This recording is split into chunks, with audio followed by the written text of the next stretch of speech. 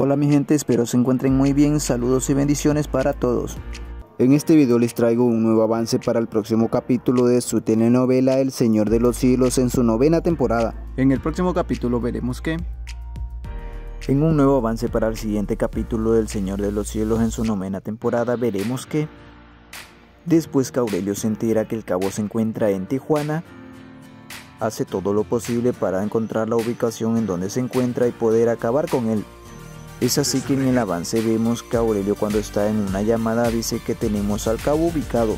Luego Aurelio junto a sus hombres hacen una persecución para poder acabar con el cabo y junto con la ayuda de Ismael, Aurelio hará todo lo posible por encontrar al cabo y poder acabar con él, ya que estarán en un encuentro muy explosivo donde cualquiera de estos personajes podrían resultar heridos o muertos. ¿Y qué piensan ustedes mi gente?